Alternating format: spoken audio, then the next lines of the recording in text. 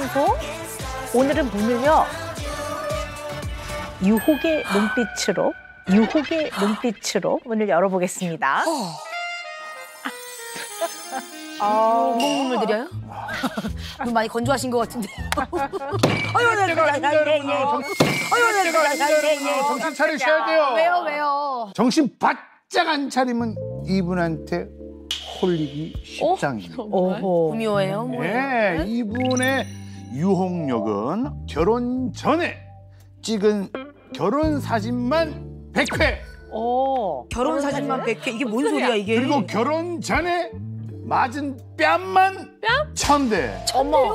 예, 그런데 이분의 남편도 만만치 않습니다. 이분의 말 한마디면 대한민국 주부들의 여심이 그냥 이렇게 뒤흔들려. 이분이 아주 요거 요 어. 쇼 스트이신데 장난 아니라. 부부 상담의 대가 우리 오 박사님을 만나기 위해서 오신 오늘의 유혹 부부입니다. 유혹. 아하. 유혹 부부 어떤 분들일지 정말 궁금한데요. 한번 모셔보도록 하겠습니다. 오늘의 고객님들 멘탈 케어룸으로 입장해 주세요. 어, 어, 어, 스코트 하시면서, 어, 자 에스코트 하시면서, 아, 안녕하세요. 오은영의 금쪽 상담소에 오신 고객님 환영합니다. 서로를 소개해 주세요. 대한민국 탑 쇼호스트 제 남편 김형균 씨입니다. 사랑과 전쟁 그 언니로 워낙 유명하지만 이제는 또 저의 아내로 사랑을 받고 있는 것 같은 민지영 민지영 씨입니다. 안녕하세요. 반갑습니다. 지난번 치맥 먹을 때 얘기했잖아요. 마누라가 갑자기 여기 왜 왔대? 몰라. 곧 이혼하겠다는 사람이 왜 마늘 앞에서 꼼짝을 못해? 이혼해 주세요. 뭐? 사랑 없는 결혼이 무슨 의미가 있어요? 아니 그게 아니라 평상시에 밥 많이 먹고 나서 한 3인분 항상 음파 칫솔로 깔끔하게 다 관리해 주는데. 안녕하세요.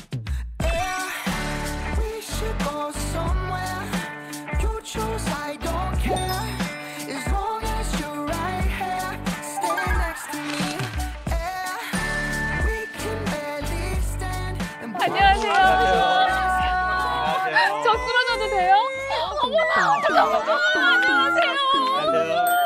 제가 엄청 팬입니다. 네, 앉으십시오. 네. 어우 진짜 박사님 어머, 심장 터질 네. 감사합니다. 반갑습니다. 자, 환영합니다. 감사합니다. 오늘의 welcome tea는 네. 뜨거운 부부 금실을 위해 부부 금실을 상징하는 자귀나무 차입니다. 아. 오, 자귀나무 차예요. 자귀? 활력에도 좋고 어. 불면증 해소에 좋고 우리 지영자기, 한규자기 두 자기를 위해서 준비했습니다. 감사합니다. 드셔보시지요. 네. 한 잔의 자기. 네. 어. 음 맛이 좋네요. 어우 진짜 다 오르는 그런데요, 진짜. 어. 아우. 자, 본격적인 상담에 앞서서 사실 두 분의 멘탈 테스트 그 결과가 궁금합니다. 지금부터 멘탈 테스트를 시작합니다. 토끼가 되어 숲속을 돌아다니던 당신 앞에 호랑이가 나타났습니다. 어떻게 대처할 건가요? 야 예.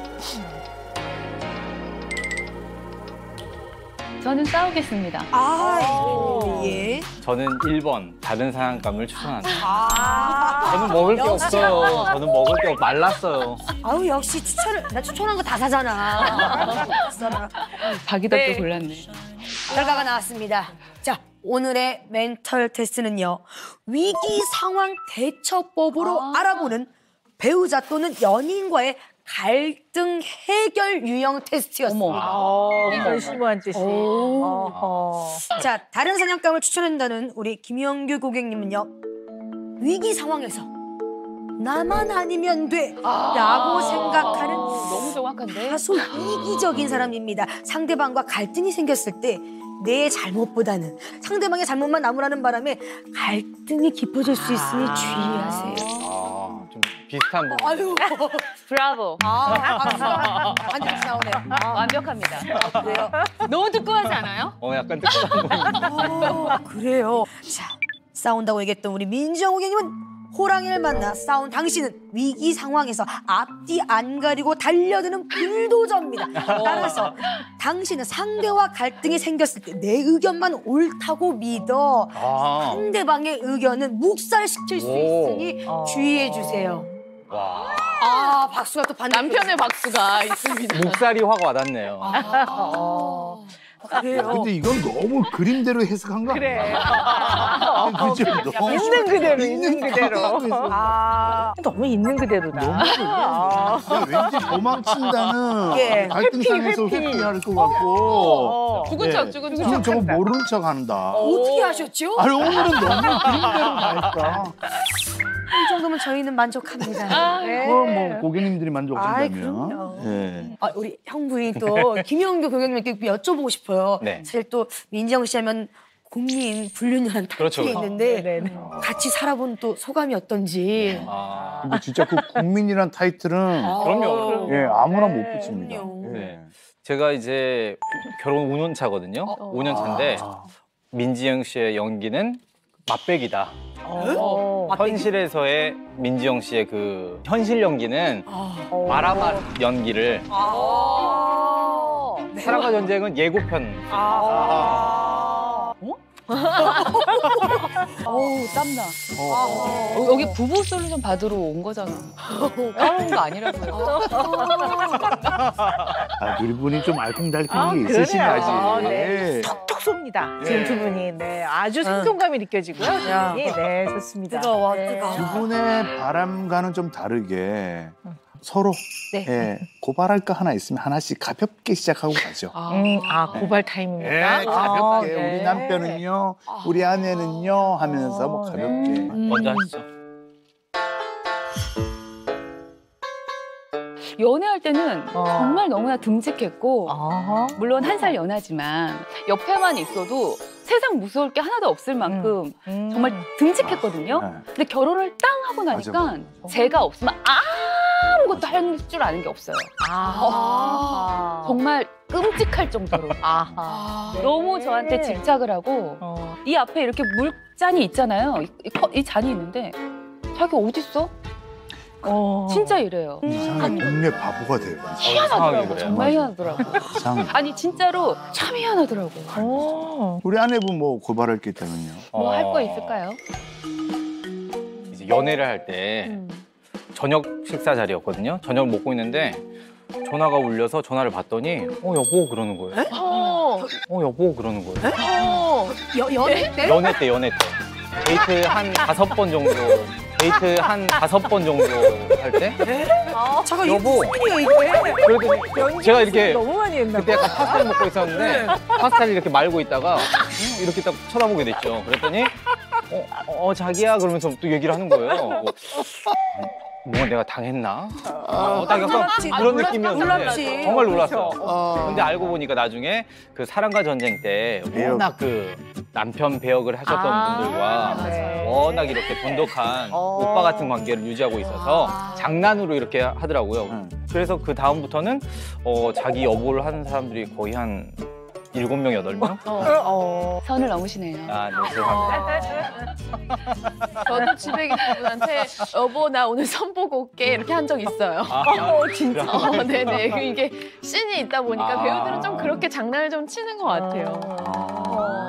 어우, 문제는 여기까지. 여기까지예요. 예예. 어우. 자 이렇게 결혼 5년차 민지영, 김영균 부부 분위기가 너무 너무 좋아. 따뜻하죠. 네.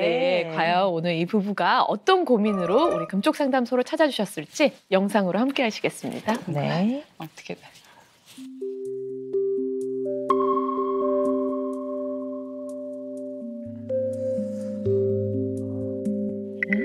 어, 왜 음악을 또. 음악이 이렇게 심각해?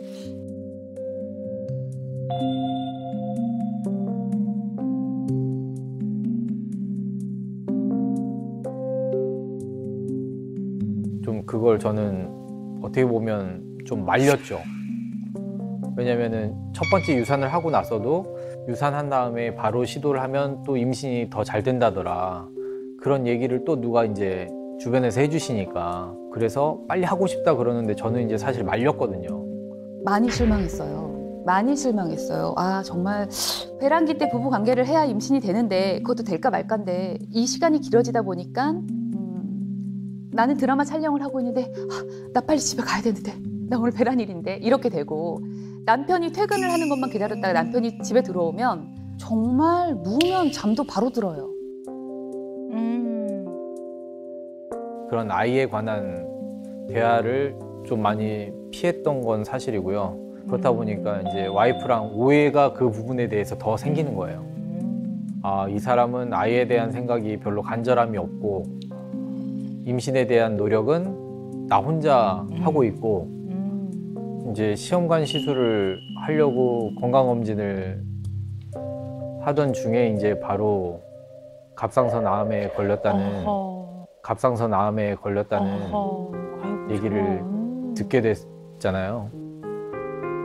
근데 그거를 이제 암 수술을 3개월 미뤄놓고 3개월을 다 연속해서 한 거기 때문에 그렇게 막 간절하게 하는 걸 보니까 저는 옆에서 너무 더 말리고 싶은 거예요.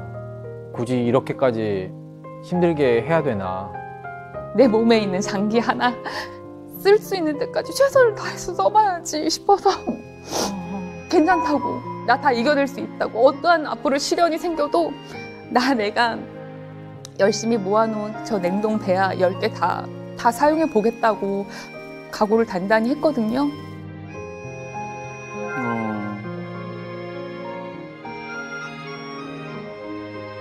저보고 차라리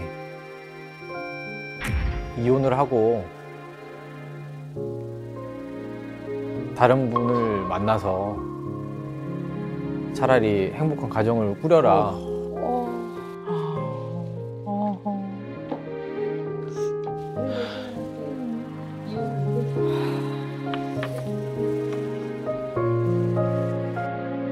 내가 이혼을 해야 이게 끝날 것 같았어요. 그게 답이라고 생각이 들었어요. 그래서 신랑한테 이혼을 요구했던 거고요. 그때.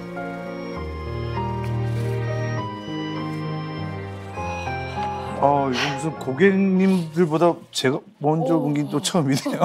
아우 아니 감사합니다. 아. 상담실 들어올 때 두 분이 너무 분위기가 좋고 막 티격태격 막 이렇게 장난치시고 그래서 이렇게 음. 무거운 고민이 있는 저희는 전혀 몰랐거든요. 음. 아, 음. 어, 난임. 아, 이거 너무, 너무 중요한 주제죠. 네. 그리고 두 분 말씀하시는 것 중 영상을 보니까요. 서로 마음고생을 하는데 상처가 될까봐 서로 이렇게 선뜻 말하지 못했던 그동안의 마음의 어려움이 잘 이해가 됩니다.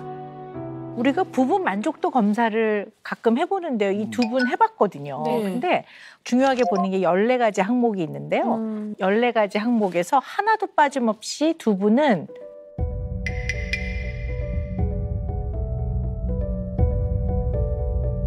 어, 심각한 정도에서의 그 결혼 생활에 대한 불만이 있더라고요. 어. 결혼 생활에 대한 불만이 있더라고요. 어. 14가지 항목이 전부 다 어, 이건 조금 힘들다, 만족스럽지 못하다 이런 결과가 나, 나왔고요. 그 중에서도 가장 심각한 게 정서적 소통에 있어서 두분 모두가 다 뭔가 굉장히 큰 어려움이 있다라고 느끼고 계시더라고요. 음. 저는 이제 궁금한 게 왜 이런 마음을 아내하고 좀 이렇게 소통하고 꺼내놓고 이야기하고 그러지 않으셨을까? 그 이유가 참 궁금해요.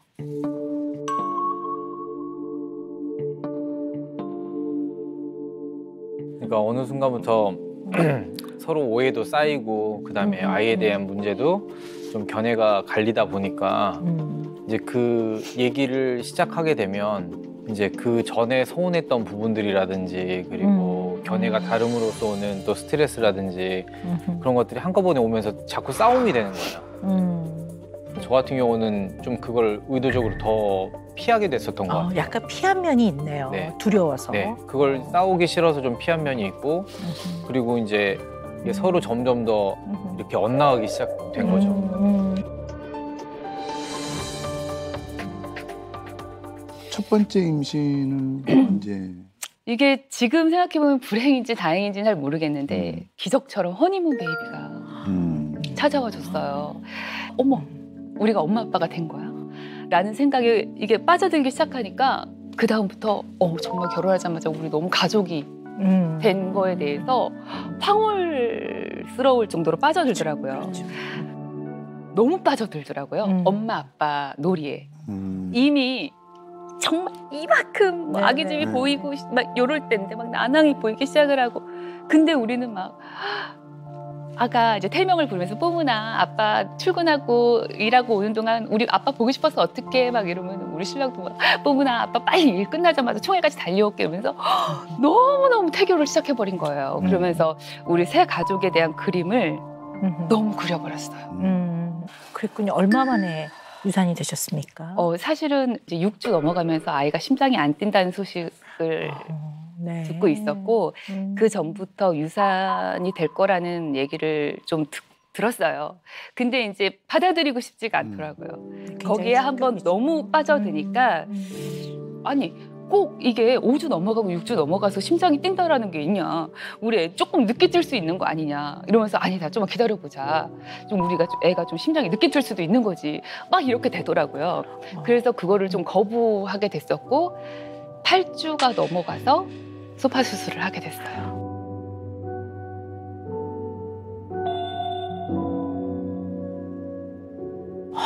그렇구나.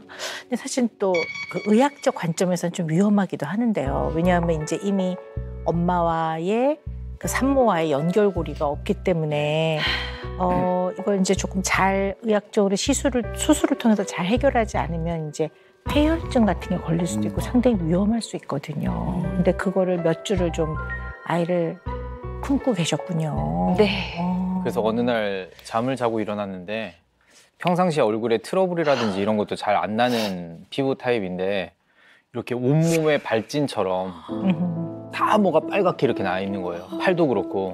그래서 저는 진짜 깜짝 놀라서 병원에 빨리 가보자. 그래서 이제 장모님도 부랴부랴 오시고 해가지고 같이 이제 가서 이제 선생님께 여쭤보니까 이게 이제 오래 품고 있는 것 때문에 아마 음. 그런 반응이 일어난 것 같다. 음. 그래서 이제 소파 수술을 하게 됐죠. 아, 네. 그 폐혈증은 치사율도 높아요.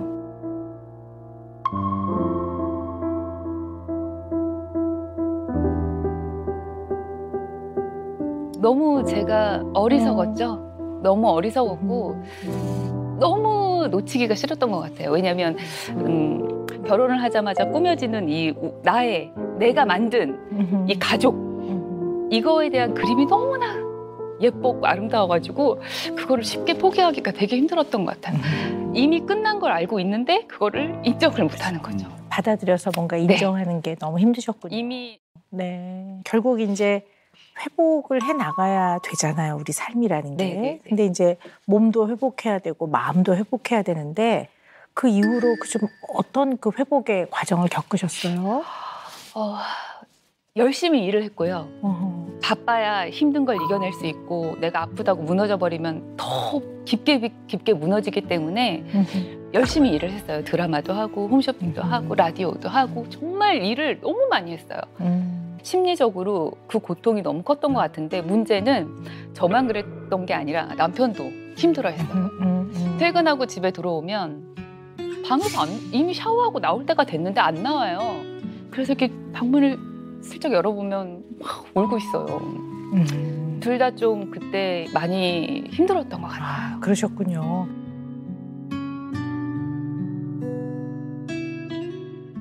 우리 남편분은 지금 우리 어떻게 조금 겪어 나가셨어요? 그 회복의 과정을?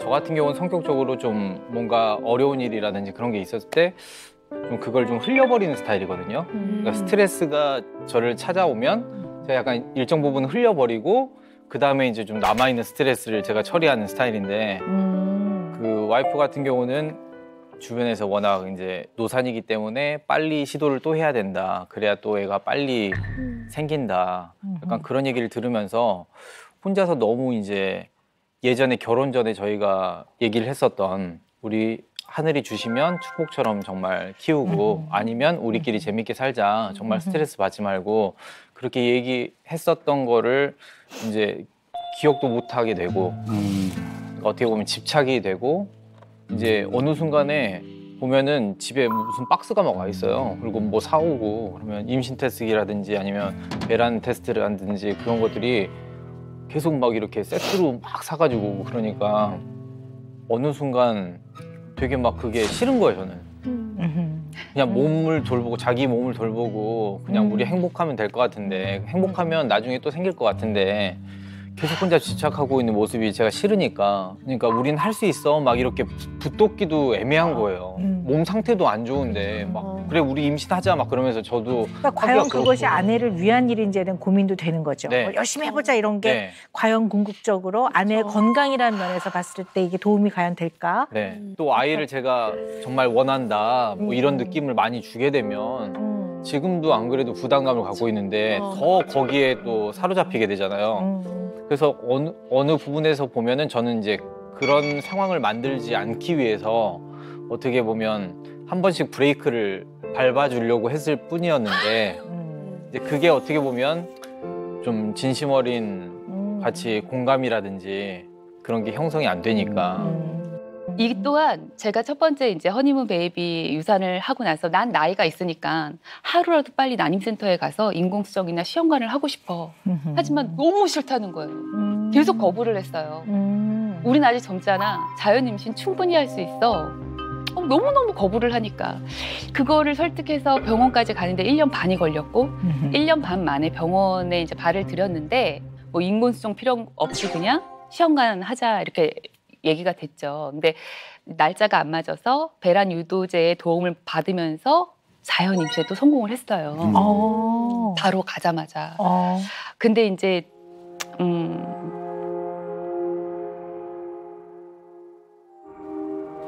이제 피 검사로 임신 수치가 계속 점프를 하면서 계속 이제 올라가는데 아기 집이 안 보이는 거예요. 이제.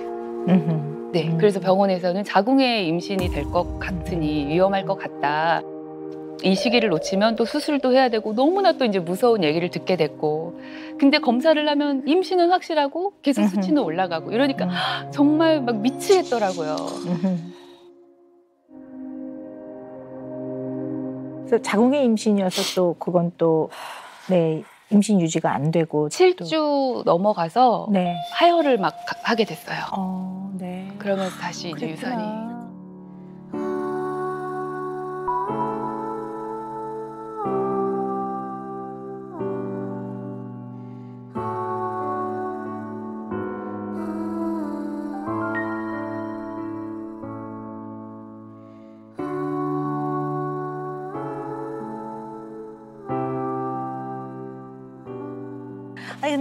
뭐 이거는 또 아 지금 제가 이제부터 말씀드리려고 하는 거는 들으시는 우리 시청자분들이나 여기 지금 계신 분들이 아 진짜 의사들은 진짜 냉정하게 말한다 이러실 수도 있어요. 근데 이제 의학적 관점에서 말씀을 드리면 어, 임신 초기 그 이제 3개월까지를 first trimester라고 해요.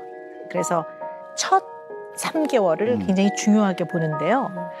이때 이제 유산이 되거나 이런 경우들은 건강한 태아가 아니었다고 보는 거거든요. 네.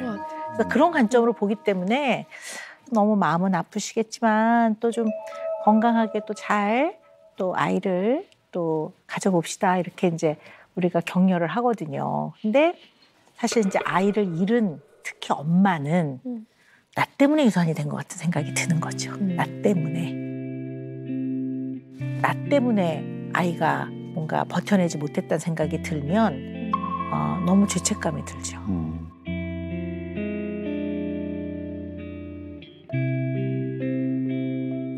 그두 번째 그렇게 유산을 이제 하게 되고 그때 우리 지영 씨의 그 마음에 굉장히 큰 타격과 동요가 있었을 것 같아요. 좀 그 마음을 한번 들어볼까요? 아이를 다시 이제 갖기 위해서 다시 이제 건강 검진을 했는데 아까 영상에도 나왔지만 어 검진 결과 가- 제가 갑상선암 아, 이 이제 판정을 받았는데 어 근데 그때도 저는 포기하지 않았어요. 이만하면 정말 다행이다. 이렇게 알아서 너무 다행이고 수술을 할 수 있음에 너무나 감사했고 수술을 잠시 이제 3개월을 미, 미뤄두고 그 3개월 몰아치기로 제가 난자 채취를 아, 정말 기계처럼 했었던 거 했었어요. 아, 그래 갑상선 암이나 이런 뭐 수술 여러 가지 이제 평가 이런 것들을 다 미루고 난자를 채취하셨군요. 네. 근데 또 우리 남편분 형균 씨는 또 그 상황에서 나름의 어려움이 또 있었을 것 같아요. 그런 아내를 바라보면서 한번 들어볼까요? 그러니까 저 같은 경우는 그것도 저는 처음에 좀 반대를 했거든요. 음. 만류를 했었습니다. 왜냐면 이제 난자 채취를 보통 한 번 하게 되면 몸에 부담감이 많이 가기 때문에 보통 그렇죠. 3개월이나 4개월 텀을 두고 또 한번 시도를 하고 이제 그런 걸로 알고 있는데 음. 그걸 이제 연속으로 3개월을 다 한다 그러니까 음. 지금도 몸이 안 좋아 있는 상태에서 그 호르몬 관련된 약들을 또 주사를 맞아야 되고 그러면 더 안 좋고 그러니까 저는 걱정이 되니까 그러면 한 번만 하자. 정 그러면 한 번만 하자. 그런데 또 우겨서 또 한 번 할 거다 그래서 또 연, 연달아서 두 달째 하고 끝까지 이제 세 번은 다 채웠어요. 아하. 그러니까 저 같은 경우도 그러니까 그럴 때 항상 저는 자꾸 이제 걱정은 되지만 하지 마. 이건 아닌 것 같아. 아닌 것 같아. 자꾸 이제 말리고 방해를 하는 역할이 되다 보니까 음. 이게 서로 점점 더. 이렇게 엇나가기 시작된 거죠. 음, 어느 날 제가 그랬어요. 음, 내가 아이를 갖는 게 옆집 아줌마가 아이 갖는 거야? 음, 이런 얘기를 물어봤어요. 음. 당신한테는 그런 기분이야? 음. 우리 둘이서 아빠와 엄마가 되는 과정인 건데 나는 그냥 당신한테 자기한테 내가 그냥 옆집 아줌마 같아. 이런 기분이 아, 들었던 것 그러셨군요. 같아요. 혼자서. 네.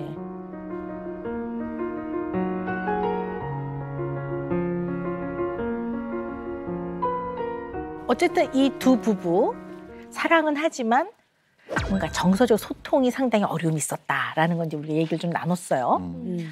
또 이 부부 두 사람의 관계에서 가장 심각한 부분이요. 성적인 불만이었습니다. 음. 네. 문장 완성 검사 하신 거에도 여실히 드러나는데요. 지영 씨도 나의 성관계 지금 생각하고 싶지 않다. 어, 뭐 나의 성생활은 의미가 없다. 근데 또 우리 남편분 형균 씨는 나의 성생활 아이에 대한 부담을 좀 어, 마음에서 좀 버리고 싶다. 음. 나의 성생활은 멈춰 있다. 뭐 이런 이제 내용들을 쓰셨어요. 근데 이 두 분뿐만 아니라 난임을 겪는 많은 부부들이 이런 어려움들을 많이 얘기하세요. 그래서 그 그런 부분에서 좀 어, 이야기를 나눠봐야 될 것 같아요. 네. 어, 근데 이 이야기를 두 분이 하긴 하세요. 평소에.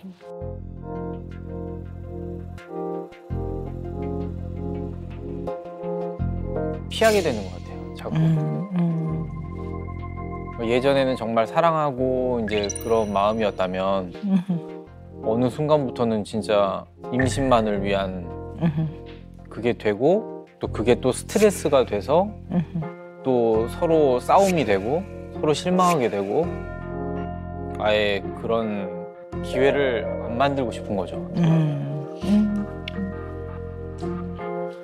처음에 난임센터를 갔었을 때 음, 숙제를 내주시잖아요. 음. 그렇게 얘기를 하잖아요. 음, 난임분들한테. 음, 배란일에 부부관계를 했습니다.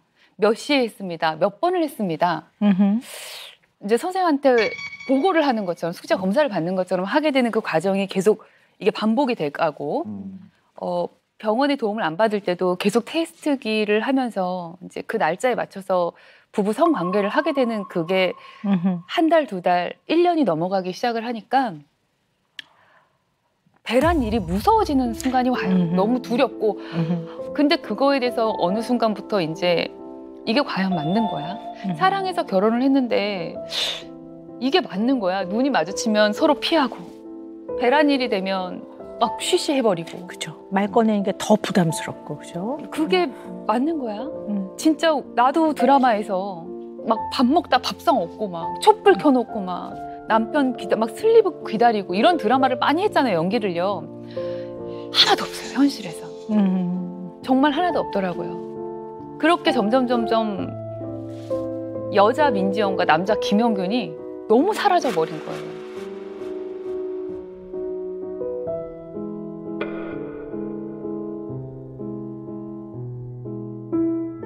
이제 우리가 이런 예를 한번 들어볼까요?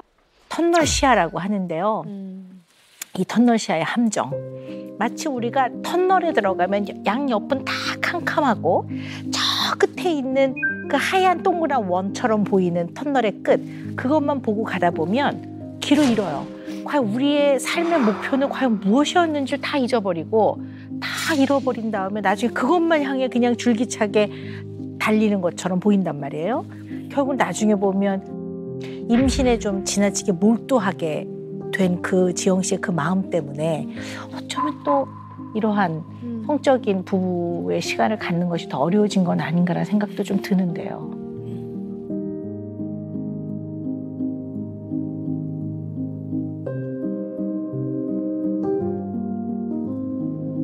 저는 항상 남편에 대한 가장 불만이 나랑 한 모든 약속을 지켜주는 게 없는 거예요. 네. 제가 암 수술을 하는 날, 어, 뭔가 있어요. 좀 들어봅시다. 암 어. 수술을 하는 날, 합성성 암 수술하는 네, 날. 수술하는 당일 날 어. 그날 이제 사실 코로나 때문에 가족 면회가 잘 안 되는 상황이긴 했지만 보호자 한 명은 동반이 되죠. 됐었어요. 네, 네, 네. 그래서 제가 수술하는 날 회사에 휴가를 하루 냈어요. 음. 근데 그날 수술실에 들어갈 때 남편이 없었고 나올 때 남편이 없었어요. 어머, 왜요? 자느라고요. 잔. 아. 어머. 네. 이거 휴가까지 내시고 그쵸. 그죠, 그죠. 네. 어떤 상태인지 어머. 아는데 그 약간 그 저만의 변명을 조그맣게 음, 해보자면 예. 이제 그 제가 아침 이제 수술 스케줄이 어떻게 나올지 모른다고 몇 시에 할지 모른다고 음. 그래서 제가 아침에 일찍 가겠다 음. 대기실 같은 데 가서 좀 기다리고 있다가 오면은 보겠다 그랬더니 배려를 좀 많이 해주는 스타일이거든요 음. 저한테 이제 오지 말아라 음. 아침에 그렇게 일찍 오지 말고 그 음.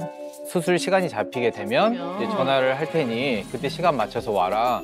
그래서 어 알겠다. 그러고 있었는데 그 전날 이제 좀 걱정되는 마음에 잠을 어, 설치고 잠을 잠을 못 잤어요. 음. 인두질 했네. 어떻게 그러니까. 인두질이네. 아니 정말로 당신이 내 말을 언제부터 들었다고.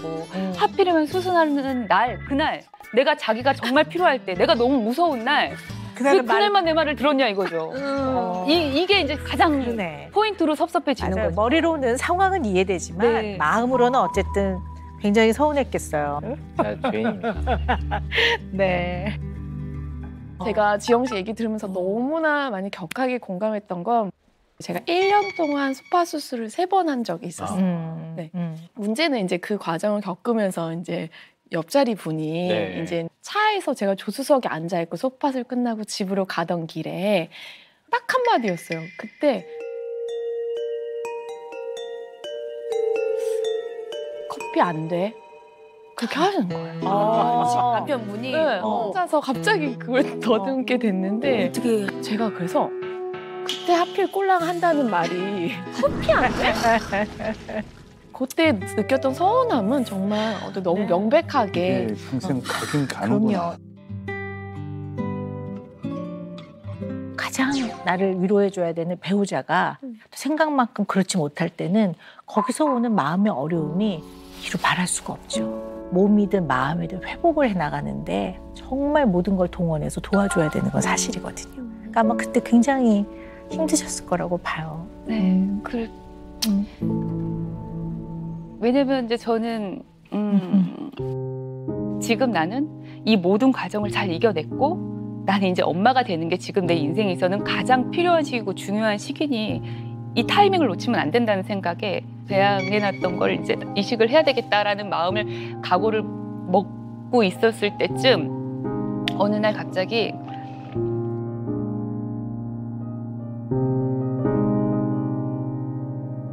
그 위경련 이이 엄청 이렇게 막 쪼여지는 이게 고통스럽잖아요. 이 위경련 같은 이 쪼임의 이 아픔이 아랫배 쪽으로 너무나 심하게 이게 오더라고요. 음. 자궁에 뭔가 조금 어려움이 세- 생긴 것 같은데요. 네, 어. 그래서 병원을 다시 어. 이제 갔는데 음, 자궁 성근증이라는 병이 이제 찾아왔었고, 그러니까 이미 좀 많이 진행이 돼 있었던 네, 것 같아요 네, 네. 그동안. 음. 근데 이제 그 교수님 설명 중에는 이것 때문에 일상생활을 할 수 없을 경우, 정말 심각할 경우 자궁 적출을 할 음. 수도 있다. 음. 자궁 적출을 할 음. 수도 있다. 음. 이런 얘기를 막 들었어요. 음. 병원에서 임신이 되는 것도 사실 기적이고 자궁 성근증에서는 힘든 일이고 음. 임신이 되더라도 유산이 될 확률이 너무 높고 이걸 또 넘어서서 조산의 위험이 또 너무, 너무 높고 난산의 위험이 높고 열 달 동안 병원에 누워 있을 수도 있고 막 이런 막 얘기를 저는 이미 다 들어놓은 상태니까 너무 불안하고 무섭잖아요. 음. 근데 내가 지금 이렇게 상황이 안 좋은 상태에서 임신 시도를 해서 내가 심장 뛰는 소리도 듣게 됐는데 아이한테도 그게 고생길이 시작이 되는 거면 과연 이게 그렇죠. 올바른 선택인 것인가? 음. 내가 아무리 스스로 너는 괜찮아. 음. 그래, 너만 흔들리지 않으면 그 어떤 상황이 생겨도 단단하게 너 모든 걸 다 이겨낼 수 있어라고 항상 내가 아무리 마음을 다 잡아도 너무 많이 흔들리고 너무 많이 무너지더라고요. 그랬겠네요. 네.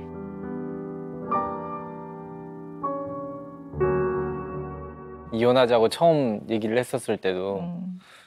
이제 냉동 배아를 5년 동안 법적으로 보관을 하게 돼 있더라고요. 음. 근데 이제 그게 1년이 지나서 음. 그걸 연장하시겠습니까, 냉동을? 음. 음. 그게 이제 문자가 이렇게 왔었거든요, 병원에서.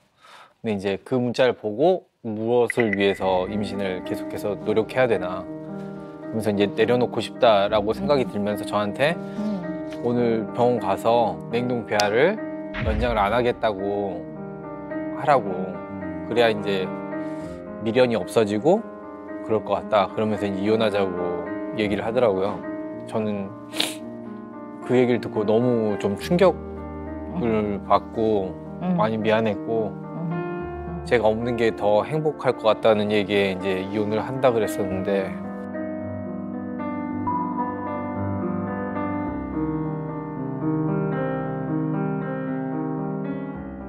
근데 그때 어떤 게 하나가 더 제가 정신적으로 힘든 일이 있었냐면 어.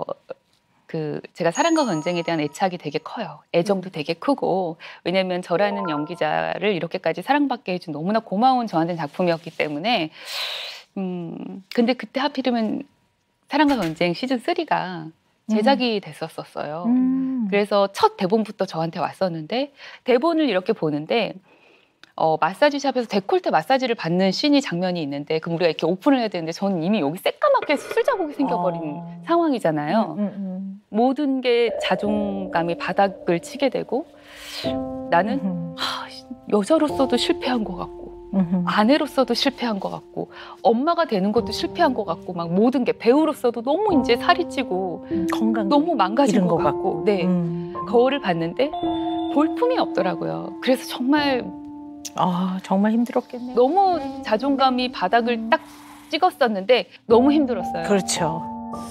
어, 뭐 이해는 됩니다. 왜냐하면 어, 엄마들은 내가 아이를 위해서 내가 어떻게 되는 건 내가 견뎌낼 수 있어. 근데 이 나의 몸 상태가 어쩌면 나한테 찾아온 아이한테 아이를 힘들게 하는 과정이 되면 어떡하나 이 고민이 있었다면 또 우리 남편 현균 씨는 내가 아내한테 힘내자 우리 열심히 해보자 라는 게 과연 이 아내의 건강을 지켜나가는데 과연 도움이 될까? 그냥 약간 다른 종류지만 본질은 같은 어떻게 보면 사랑하는 대상을 향한 염려와 걱정이란 면에서는 저는 같은 걱정 고민이었다고 봐요. 그래서 지영 씨가 몰두하게 되는 데는 여러 가지 이유가 있을 거라고 봐요. 다양한 각도를 한번 좀 이해해 보는 건 필요할 것 같습니다.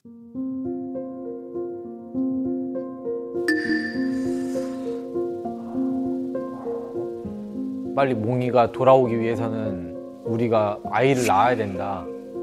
이제 그 생각이 더 간절해진 것 같아요. 그것 때문에 더. 몽이가 누구야?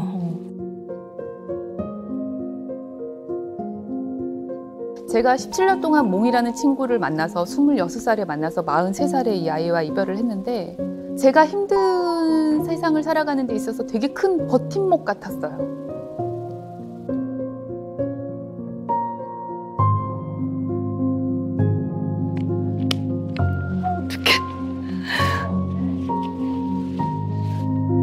근데 어느 날 음, 몽이가 너무 힘들어 보이는 거예요. 사실 그때쯤 계속 먹는 것도 토하고 안 먹어도 토를 하고 애가 너무 햇빛에 민감하게 반응도 하고 몽이를 쳐다보고 몽이한테 제가 그랬어요. 괜찮다. 너무 힘들면 나 걱정하지 말고 가도 좋다고 대신에 몽이가 빨리 갔다 다시 우리한테 돌아오면 그때는 정말 너무너무 좋은 엄마 아빠가 돼줄게. 그러니까 빨리 갔다가 빨리 빨리 다시 우리 아이로 와줄래? 라고 그래 나는 이제 내가 할 수 있는 건 다 필요 없어 딱 나는 몽이랑 약속을 지키기 위해서 이거에 모든 걸 올인할 거야 나는 지금 내가 할 수 있는 건 내가 해야 되는 건 엄마가 되는 거야. 빨리 건강해져서 다시 너를 만날 수 있도록 최선을 다할게.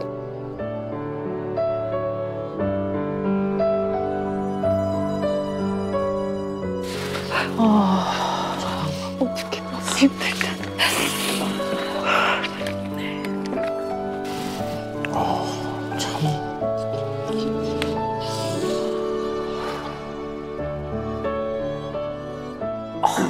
지영 씨가 암 진단을 받고도 치료를 좀 미루고 그토록 아이를 좀 가지려고 했던 이유가 몽이와의 약속 때문인 면이 많네요. 응? 요즘에 이런 것들을 펫 로스의 증후군이라고도 하죠. 펫 로스를 겪으셨네요. 네, 아 정말 정말 힘드셨겠어요. 네, 네. 이 반려견이나 반려묘를 떠나보냈을 때 이 슬픔을 박탈된 슬픔이라고 해요. 이렇게 반려견이 떠났을 때 얘네들이 사람이 아니란 이유로 사실 그렇게 지지를 많이 못 받아요. 그리고 많이 힘들어하면 유별 떤다는 소리를 또 들어요. 그리고 가족이 떠나면 이제 장례를 치르고 법적으로 보장되어 있는 그러한 사람의 도리를 하는 그런 기간이 있는데 가족처럼 여기던 반려견이 세상을 떠나면 이제 그런 것들을 요구할 수가 없죠.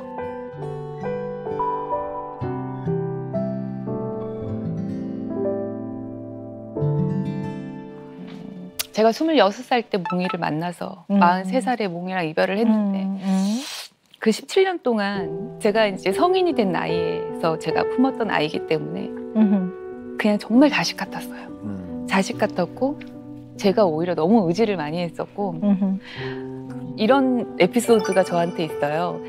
드라마를 찍고 집에 들어왔는데 너무 아팠어요. 몸살이 너무 심하게 나서 너무 열도 나고 아파서 엄마한테 전화를 했어요. 알았어, 엄마 지금 정신없으니까 이따 전화할게. 전화를 끊으셨어요. 몽이랑 같이 있으면서 몽이 밥을 주고 물을 주고 잠이 들고 그 다음 날이 됐나 봐요. 저를 몽이가 막 깨워요. 어, 그래, 그래, 그래, 몽이야, 누나 너무 힘들어. 이렇게 봤더니 제 침대 옆에 베개에 사료를 이렇게 물어놨더라고요. 챙겨준 밥을. 이걸 안 먹으면 누나가 죽을 것 같았나 봐요. 근데 보통 동물이잖아요. 먹을 거 앞에서 그렇게 하기가 힘들다고 하더라고요. 근데 몽이가 그때 사료를 물어다 주고 저를 이렇게 흔들어서 깨워서 이걸 먹으라고 했던 그 모습을 잊을 수가 없고 그때부터 저의 모든 기준이 몽이가 됐던 것 같아요. 몽이는 저를 또 한 번 살려주더라고요. 산후풍 때문에 발톱이 빠질 정도로 너무 아픈데 몽이가 그때 쓰러진 거예요 심장마비로. 그래서 계속 침대에서만 누워서 아무것도 못하던 제가 몽이 약을 먹여야 되고 밥을 먹여야 되고 병원을 데리고 가야 되고 대소변을 받아줘야 되고 배 마사지를 해줘야 되고 제가 어떻게 해서든지 일어나지더라고요. 마지막 날 제가 몽이한테 했던 약속 힘들어하지 말고 괜찮으니까 빨리 갔다 빨리 와줘. 정말 너한테 정말 너무나 좋은 엄마 아빠가 돼줄게. 이제 형이랑 누나 그만할 거야 하고 약속을 한 날 앞이면 몽이가 떠나게 되는 바람에 그게 마음 한 구석에 너무나 남아 있었던 것 같고 몽이랑 약속을 지켜야 되니까 건강검진을 했던 거고 몽이가 떠나고 40일 만에 제가 암 판정을 받게 된 거예요. 음. 그래서 사실 집착 아닌 집착을 할 수밖에 없었고 음. 이루 말할 수가 없네요. 굉장히 많은 위로를 받으셨군요. 너무 컸어요. 네. 근데 전 좀 궁금한 게 얘가 떠나서 다시 우리의 자녀로 돌아올 거다. 그래서 내가 더 임신에 성공해야 되고 몽이를 만나야 되겠다. 빨리 갔다가 빨리 빨리 다시 우리 아이로 와줄래? 라고 이 부분에 대해서는 남편 현균 씨는 어떻게 생각하시는지 저는 꼭 좀 들어보고 싶습니다. 근데 저도 음. 같이 이제 몽이를 7년 동안 같이 음흠. 돌봐주면서 음흠. 연애 2년, 결혼 이제 5년이니까요. 정말 저도 어떻게 보면 동생이나 자식처럼 음흠. 돌보고 정말로 아끼고 그랬었는데 하필이면 이제 그 몽이가 떠나는 날 그 얘기를 했다는 거에 대해서 굉장히 어떻게 보면 자책을 하고 있는 거죠. 와이프의 그런 슬픔이 없어질 수 있다면 몽이가 다시 돌아와야 돼 그런 부분은 저도 똑같이 동의를 했었거든요. 음. 그래서 제가 난자치치라든지 냉동 배아를 할 때 반대를 하다가 그래서 저도 하자고 한 거였거든요. 음. 저는 이제 강아지도 키워봤고 딸도 있다 보니까 뭔가 좀 더 연관 들어 짓고 깊게 생각해 보면 와 어떻게 저렇게 깊게 사랑할 수 있을까 이런 생각은 듭니다만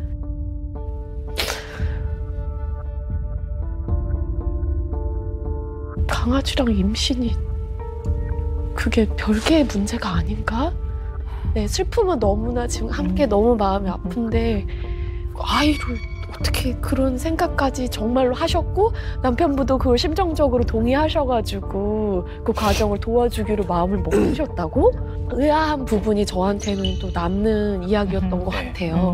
음, 음. 그 어떻게 보면 그 17년 그거는 너무나 소중하고 뜨거웠던 행복의 순간이죠.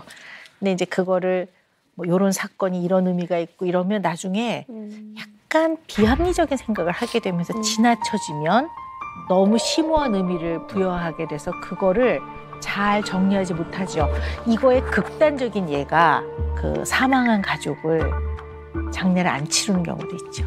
집에 모셔. 아, 이건 너무 끔찍한 거긴 하지만 매우 극단적인 예를 말씀을 드리는 거고요.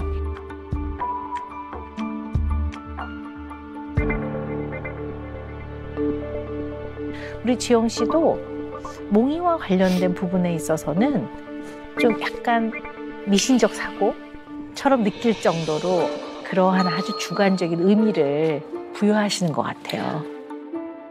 저는 오히려 음. 제가 그렇게 생각했기 때문에 이 힘든 시간을 잘 1년이라는 시간을 또 버텼다고 생각을 했어요. 음. 제가 몽이와의 약속을 지키기 위해서 몽이가 나한테 다시 돌아와 줄 거라는 그 약속을 희망을 놓지 않았기 때문에 음. 이 힘든 시간을 제가 이겨낸 거라고 생각해서 난 저는 몽이한테 사실 지금도 고맙게 생각을 하거든요.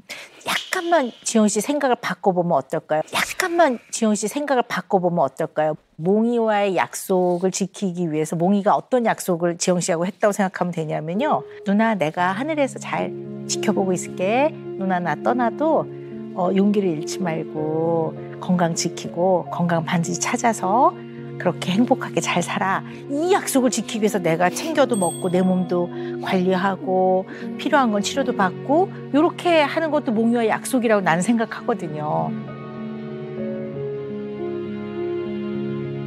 지영 씨의 마음은 너무 이해해요. 그리고 이거는 정말 정말 가슴 깊이 이해하지만 요 선에서는 지영 씨가 조금 본인의 마음을 좀 잡고 있어야 되지 않을까라고 조심스럽게 말씀 제가 드립니다.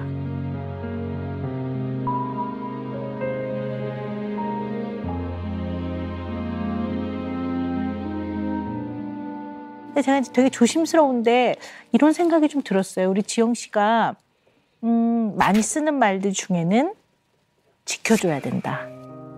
나랑 한 모든 약속을 지켜주는 게 없는 거예요. 몽이한테 했던 약속 아이를 포기하지 않았고요. 약속을 지켜야 한다. 몽이를 지켜야 한다, 아이를 지켜야 한다 이런 것들을 다 종합을 해보면 지영 씨가 혹시 어린 시절에 그런 조건 없는 사랑 정말 그냥 네가 내 자식이니까 사랑하는 거지 네가 어떤 사람이어서 사랑하는 게 아니라 이러한 어떤 조건 없는 사랑의 경험이 있는지 좀 제가 그게 좀 궁금합니다.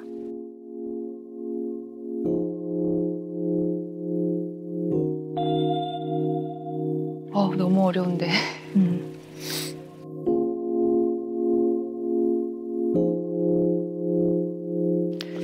이런 얘기를 어디서 해본 적이 없어서 사실 저는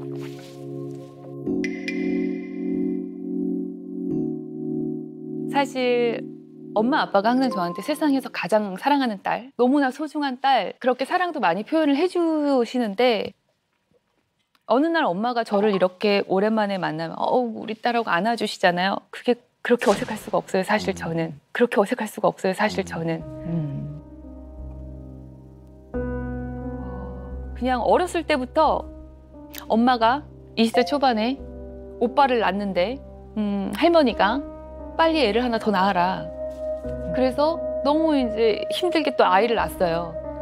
근데 딸이 태어난 거예요. 딸이 태어나니까 시어머니가 거릴도 보지도 않네. 너무 억울하고 엄마가 서, 서럽고 그래서 다시 아들을 낳았어요. 제가 5월생인데 제 남동생이 6월생이에요. 다음에. 네. 거의 그런 출산하자마자 맞아, 다시 바로. 네. 그러니까 어 그땐 엄마가 20대 초반이었고 어린 나이에 오죽했으면 그랬을까 이해가 되죠. 근데 그런 얘기를 음, 어렸을 때부터 너무 많이 들어왔던 것 같아요. 음. 그리고 오빠가 태어나고 제가 태어날 때 엄마 가슴에 종양 같은 게 생겼어갖고 수술을 또 하셨었어요. 그래서 제가 태어났지만 저한테 젖을 물릴 수도 없었고 또 저랑 동생이랑 생일 차가 얼마 안 된 상황에서 엄마가 임신을 했잖아요. 저는 갓난장이 아기인데 동생이 바로 태어나니까 안아줄 수도 엄마는 동생을 되게 되는 거고 저희 할머니는 오빠만 끼고 살게 되고 그랬던 저희 어린 시절 얘기를 커오면서 계속 들었어요. 친할머니가 막 이제 손녀 자랑을 하잖아요.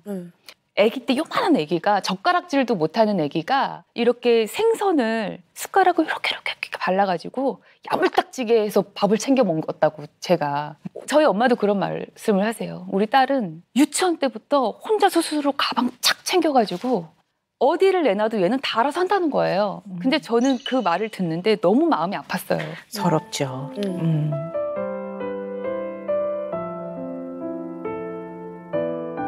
생선을 먹여주신 적이 없잖아요, 제 입에.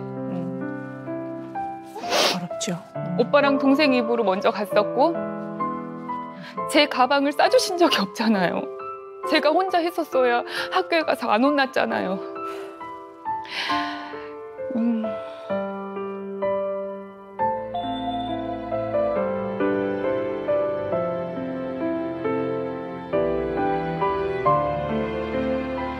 마흔에 노산의 몸으로 유산을 반복하고 암수술도 미루고 난자 채취를 하고 이런 모든 과정을 내가 이겨내고 버티는 게 얼마나 힘든 건지 그거를 이해를 못 해주시니까 당연히 당연하다고 생각을 하고 정말 내가 자궁성군 중이어서 어쩌면 자궁을 적출해야 될지도 몰라 라고 예를 들어서 진짜 엄마한테 얘기를 하면 그래도 애는 낳아야지.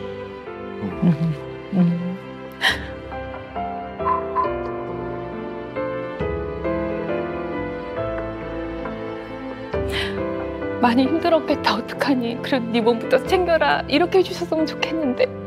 너한테 제일 중요한 건 아이를 갖는 일이다 너무 지치고 힘들었어요 사실 정말 그랬겠네요. 그런 좀, 아, 왜 그러셨을까 하는 의문이 좀 있었는데, 이 말씀을 듣고 보니까 조금 더 지영 씨 마음이 이해가 되네요.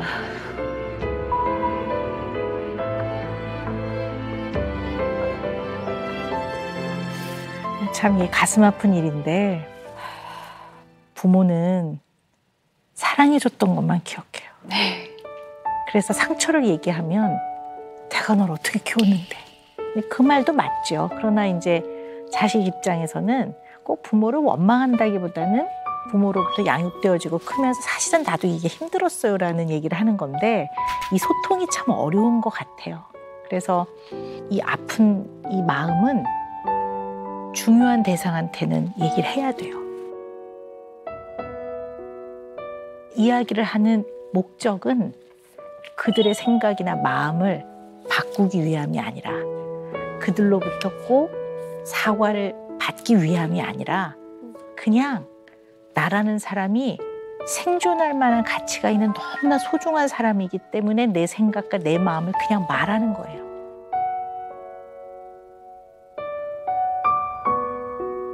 지영 씨는 제가 오늘 쭉 말씀을 들어보니까 마지막에 결과적으로 잘못한 거는 나한테로 돌아오고 어떤 집안의 일들이 결정되는 데 있어서 본인은 전혀 중요한 존재로 고려되어지지 않는 이렇게 크는 경우라면 유난히 뭔가 중요한 관계, 소중한 관계, 의미 있는 관계에서 나의 하- 가장 기본적인 이 존재로서의 소중함이라든가 존재로서의 안전에 대해서 지켜주는 거에 굉장히 몰두하게 되죠. 그럴수록 내 아이는 내가 지켜야 돼 이런 거에 굉장히 이제 몰두하게 되는 경우들도 많고요. 그 다음에 조건 없는 사랑, 나라는 존재 그대로 조건 없는 사랑을 경험을 많이 못하게 되는 경우에는 특히 반려견들이 이렇게 주인을 굉장히 이렇게 따르죠. 그런 반려견이 주는 조건 없는 사랑에 대해서 굉장히 이게 크게 다가오는 거죠.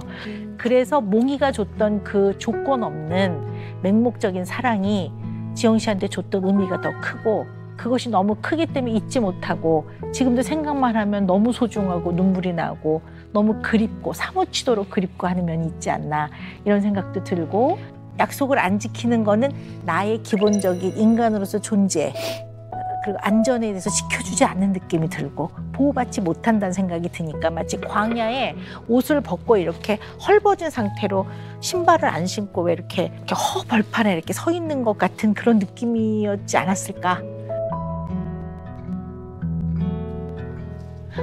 무서워요, 박사님 왜 그러세요? 음, 너무 너무, 너무 정확해요? 들여다보고 계셔서 아? 너무 무서워요. 어떡해요? 어, 제 조금, 기분이나 네. 감정보다는 내 옆에 있는 사람들의 기분이랑 감정을 먼저 생각하게 되고 나도 이게 갖고 싶은데 갖고 싶은 거에 대해서 욕심이 없어요.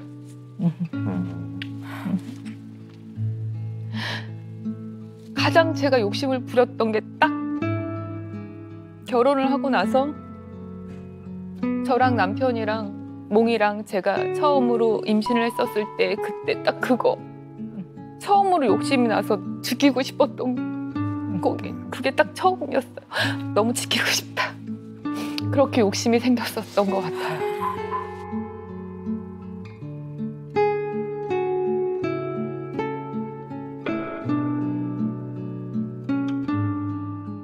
오늘 아내인 지영 씨 얘기를 좀 들으면서 네. 왜 그거에 이렇게 마음이 힘들고 하는 걸좀 이해가 이젠 좀 되시나요? 네, 네. 이야기를 듣고. 네네.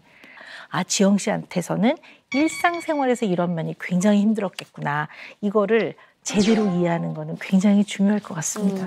음. 앞으로는 진짜 음. 그런 부분을 잘 이해하고 음, 음. 왜 목소리가 작아져?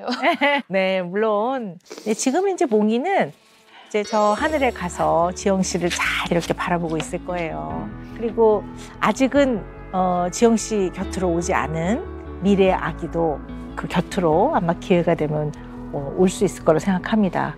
그렇지만 몽이도 미래의 아기도 아닌 사실 지영 씨한테 가장 편이 되어줄 사람은 바로 누구죠?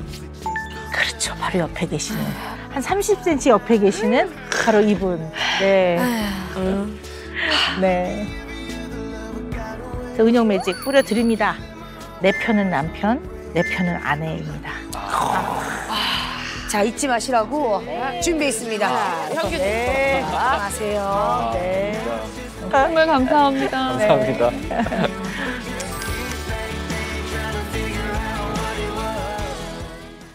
연예계 최연소 아이돌 출신의 엄빠 재민아입니다. 김율희입니다. 반갑습니다. 지인분께 오빠를 소개시켜 달라고 매력 있다고 생각을 했어요. 그래서 좋아하는 거예요. 아기 세 명에 막 기본으로 800만 원. 어느 엄마나 그런 아이들에게 다 해주고 싶다라는 그래서 저는 그게 잘 이해가 안 갔거든요. 그래서 너무 한 번에 다 이렇게 하려고 하는 게 아닌가. 그러니까 본인의 결핍을 아이들한테 이렇게 좀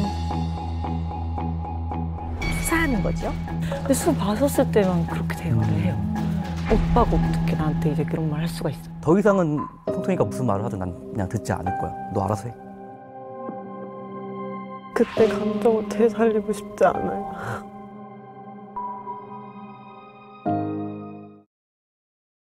채널 A